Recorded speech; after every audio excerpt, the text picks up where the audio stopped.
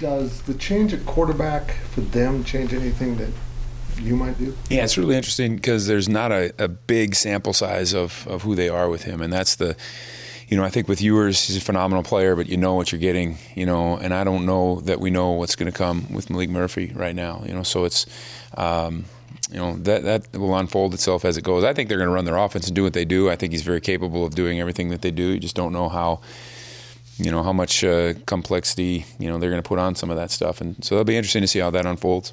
What led to their running success last season here? Well, they're really physical. I mean, they're uh, extremely uh, physical and athletic up front, which is um, best in the league in my opinion. Um, you know, of course, they had a couple of good tailbacks too to make that thing go, which which doesn't hurt. And then, and then the third part about it that you know people talk about the players and stuff, and that's absolutely accurate, but the schem- schematics are good too. I mean, they don't put themselves in, in situations where they're running into situations they shouldn't be running into. I think they really know what they're doing there, and and um, you know they they do a good job of digging in your history and seeing what's hurt you and coming back and trying and seeing if you get it fixed. And so I, I think that uh, combination of all those things makes them a really good running team. What do you see from the Brooks?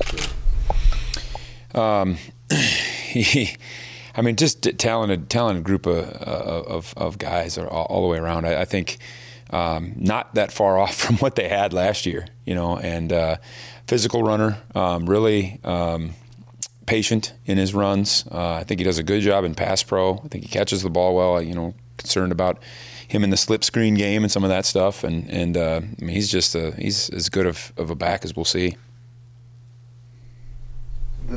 They have struggled in the red zone. What, when you watch them, you know, what, what do you see going on? I don't know. I, I think sometimes that's. Uh, yeah, I don't know. Some that is not anything that they're doing. I think they they um, are as schematically diverse down there as as anybody. and I, I can't answer that. I think they, uh, um, you know, a couple a couple of good breaks. You know, a couple of passes that were inches away. You know, a drop ball here or there. It makes a big difference, and that's, um, you know, they've been on the wrong end of that. Like to keep them there if we can. There's got to be mentality that goes along with your red zone touchdown percentage defense in, in there. Uh, it's funny you say that. We got the we got the stop last week. It was sudden change. Um, you know, I can't remember what happened. We turned the ball over, and, and, the ball was in their territory. And I don't know what yard line it was on. I think it was 30 something. But you know, we ended up getting the stop there on on four downs, and they missed the field goal. And and uh, you know, the first thing that I think was. Uh, uh, Austin Moore and, and Des Purnell were asking what yard line they were on because they wanted to know if they were in the red zone or not. Um, so our guys definitely have that in the back of their heads, you know, as a as a uh, something that they're prideful of. You know, I don't think that it changes changes our approach to any play or anything or any call that we do. It's just, uh, you know, we're hopefully treating every play the same, whether in the red zone or not. Kobe Savage, uh, you know, Paris, Texas, and he goes to Tyler Junior College. He's going to be going against all these different Texas teams right now you notice maybe a chip on his shoulder right now. Yeah, I've probably got a few guys like that that are, uh, you know, we're not uh, heavily recruited that are from Texas or from that area, and and uh, I don't think that's much different from us week to week. You know, I think sometimes we're we're we're dealing with guys that maybe didn't have the Oklahoma State offer or the you know whomever it is that we're playing offer, and you know I think it's probably the same. You know, and I think it probably is a little bit more special for a Texas kid, though. You bet. You guys are playing on a streak like you are right now, 41 nothing, 41 3, how much confidence is the defense bringing out there to the field? Yeah, I don't know. I, you, you, know, you watch us on Monday. I don't think it's different than any Monday that we've had. You know, you watch us on Wednesday. I don't think it's any different. You know, we just, I don't know. I mean, I, I hope that our guys are confident. I would hope that in the beginning. I think that, you know, you bet there's something to doing it actually. Um, but I think our guys have always had that inner confidence that. Uh, that they can do the things that we're asking them to do, and and you know, it's just a matter of going out there and doing it.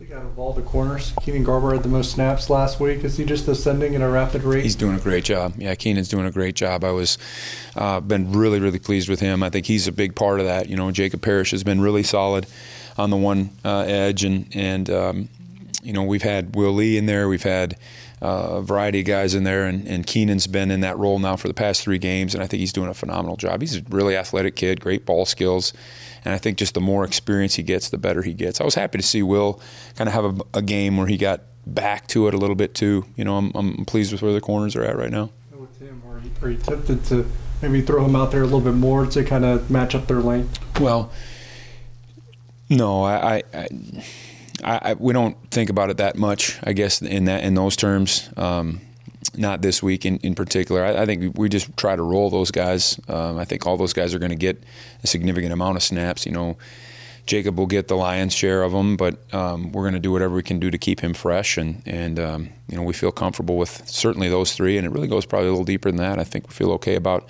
Justice James, Jordan Wright, uh, also in that group. So. Um, we, we feel pretty good. We'll get some of those guys in some of the third down stuff and do some different things that way. But um, you know that's that's that's where we're at with that room. It's a good spot right now. As a coaching staff, when you're on a losing streak to one team in particular, like you are with Texas right now, do you ever have to, I don't know, reevaluate things and say, let's take a slightly different approach here? Yeah, it just seems like when we've played these guys. And I don't know that it's true, but it, it's we've had some good games down there in Austin, but it seems like we've always been playing catch up a little bit. You know, it just seems like, um, you know, last year we dug ourselves a hole that we couldn't get out of. Um, you know, a couple of years ago down there, it was an odd time because I know they had some quarterback injuries and they kind of went total rogue on us and did about 20 snaps of wildcat and just did a, did some things that, you know, I felt like we were playing catch up that day a little bit too. And, um, you know, it, it's just we, have got to get out of the gate early, and we've got to get playing uh, early, get some confidence going early, get some stops. Um, hopefully, we're moving the ball on the other end, and you know, make it a make it a four quarter game. Another Kobe question. Uh, you know, it comes off the injury. He switches positions to the jack. He's near the top of tackles. He's got two INTs this season. He's got leadership. What's impressed you most about him this year? You know, the the savagery, no pun intended, with how he came back from his injury. Uh, I've not seen anybody do that. You know, just the, the, the work and the determination that he had um, almost the refusal to acknowledge that he had an injury, you know, eh, in the summertime and in the, eh, you know, he, he just was, um, you wouldn't know it right now the way he's moving around and stuff. And and uh, I, I'm just I'll forever remember that. I just I don't know if I've ever seen anybody attack it the way he's attacked it. And so any any bit of success any accolade he gets boy, he deserves it maybe more than anybody. You know, he's just kind of an unsung guy that goes about his business, but is rock solid for us every Saturday. And, and man, I'm, I'm so proud of him.